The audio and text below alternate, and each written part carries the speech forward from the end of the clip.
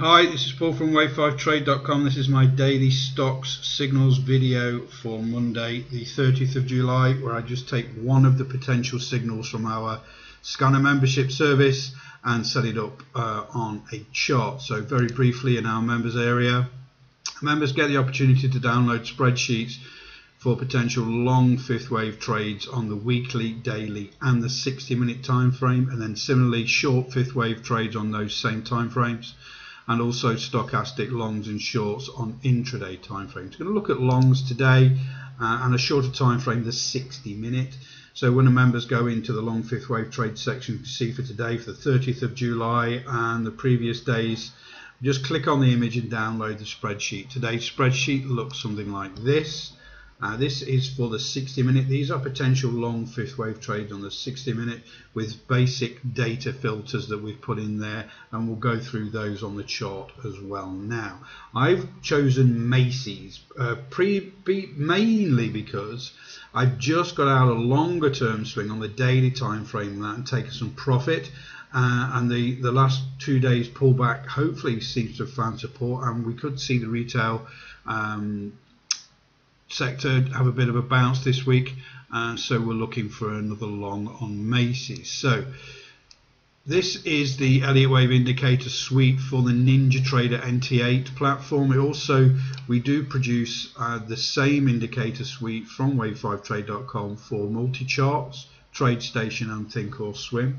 I've just zoomed out a little bit on this 60 minute time frame for Macy's at the moment to show you the top of the previous intraday trend and then the low here where we've isolated the wave count.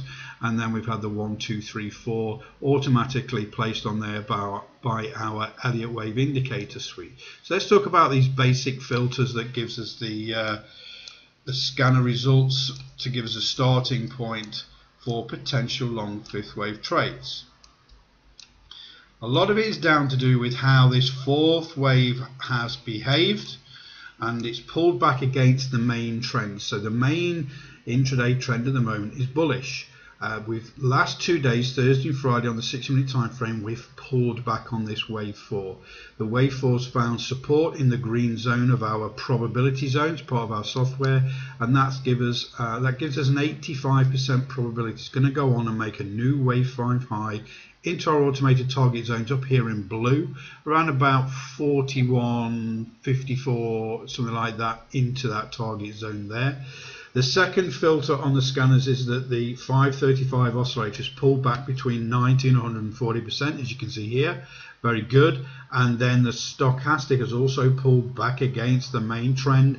You see the yellow dots at the top of the stochastic there. That means we have a strong bullish momentum and the stochastics pulled back against that strong bullish momentum, crossed over and wants to return to that main bullish trend. So setting this up is reasonably easy. Uh, we have the 6-4 moving average high on our indicator suite here and this is used for the initial start point of our entries so you can be a little bit more aggressive with Macy's for example and then to coming out here in the first hour of the session around about 39.74 but I've got this doji here in the, during the wave 4 which was an attempt previously to move higher but it failed. So we need to be above the high of there and also above the whole $40 mark.